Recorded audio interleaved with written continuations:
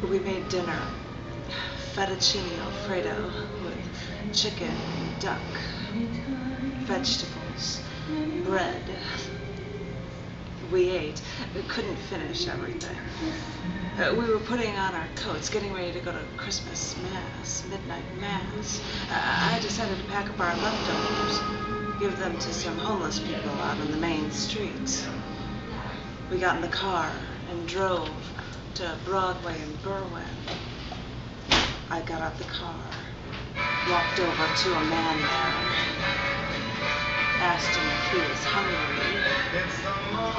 I got the bowl of noodles and the gallon of milk out of the car.